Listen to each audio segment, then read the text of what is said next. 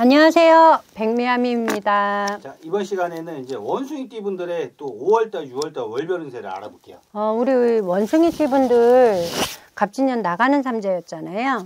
네, 근데 이분들한테 올해에 갑진년 통틀어서 1월부터 이 마지막 달까지 올해에 네.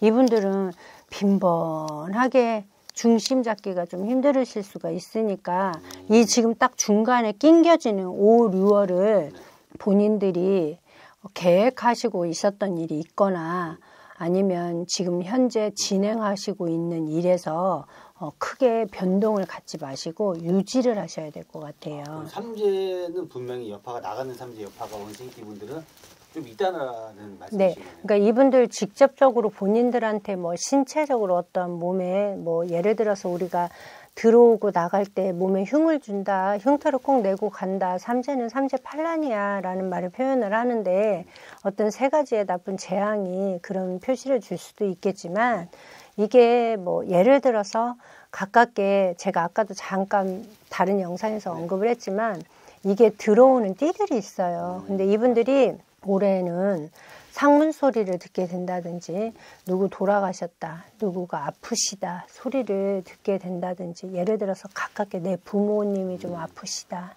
지금 몸이 많이 안 좋으시다. 뭐 예를 들어서 그게 좀 많이 악화가 된다든지 이런 식으로 해서 올해는 그와 비슷하게 음, 어떻게 관련되게라도 이런 수가 계속 들어오니 어, 이분들이 현재 하고자 하고자 뭘 시작을 하시거나 아니면 진행하시는 게 있다면 그거를 유지를 잘하고 중심을 잘 잡고 가셔야 하는 해다. 그 중간에 낀 달이 5월이고 6월이기 때문에 더더욱 그렇다. 그리고 어, 5월 달에는 이분들 손재수가 있습니다. 손재수. 손재수라는 거는 이제 잘못하면 좀 돈이 나가거나 셀 일이 있다는 얘기거든요.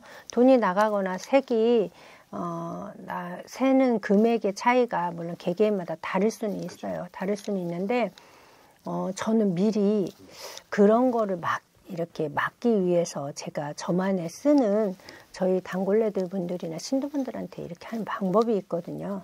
이렇게 손재수가 있거나 예를 들어서 이 돈 정도가 이분이 꼭 나가셔야 하는 일이라면 그런 거를 좀 미리 때우고 갈 수 있는 어떤 길 그런 것들이 있으니 당연히 이렇게 손재수 있을 땐 누구한테 돈 거래하시면 안 되겠죠. 그리고 어딘가에 돈 넣고 안 되겠죠. 이분들 사실 지금 5월이 굉장히 좋진 않아요. 좋지 않기 때문에 음, 그런 거를 잘 때우고 지나가시는 게 좋을 것 같습니다. 뭐 예를 들어서 뭐 돈이 좀 갖고 있는 돈이 있으시다면 그 돈을 뭐 어디로 목돈으로 묶어 놓으신다든지 뭐 그런 방법으로 좀 못 움직이게 할 수 있는 방법으로 하시는 게 좋을 것 같고요.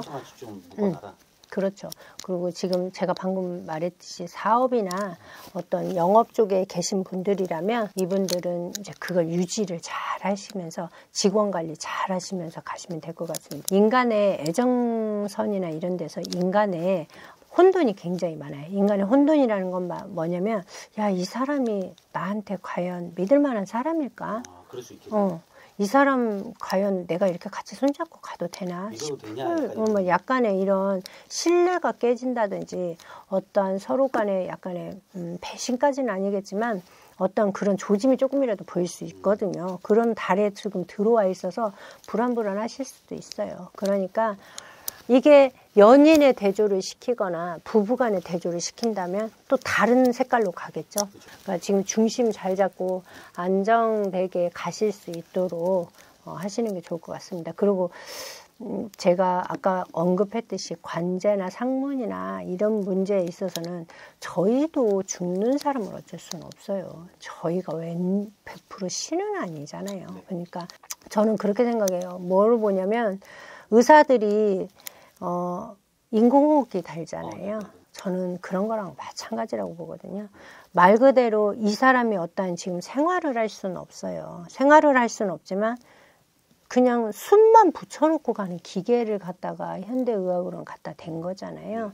이미 신에서 끊어놓은 명줄인데 음, 저희가 다시 살릴 수는 없어요. 다시 살릴 수는 없겠지만 이 명을 좀 이서갈 수 있는 길은 있겠죠. 이 전에 그렇죠. 이렇게 죽기 전에 그런 문제들이겠죠. 그러니까 어, 좀 집안에 어떤 힘든 일이 있으시거나 아니면 본인 자체가 지금 어떤 힘든 일에 공경에 처하신 분들이라면 가만히 앉아 계시지 마시고 무당이 뭐 하는 말 늘 거기서 거기다라는 생각하시지 마시고 좀 찾아가셔서 상의하시고 상담하시는 것도 저는 권유를 드리겠습니다.